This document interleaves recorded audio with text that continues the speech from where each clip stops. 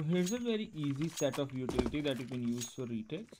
Uh, so for the smoke, you just go here into this corner, aim right here above this crack on the stone, and just a simple throw. This covers the hallway, very easy and consistent smoke. And uh, for the molly, just stay right here and aim at this point of the edge. Very easy yet very effective set of utility. Right.